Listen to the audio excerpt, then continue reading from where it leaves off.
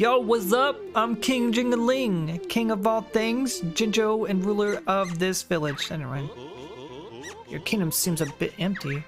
Shut your fucking mouth.